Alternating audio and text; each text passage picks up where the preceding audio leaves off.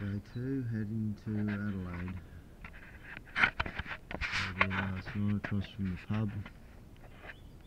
Just a rest stop. Got a few people here last night. Bit of cover, thought it'd rain, but uh, it's not too bad actually.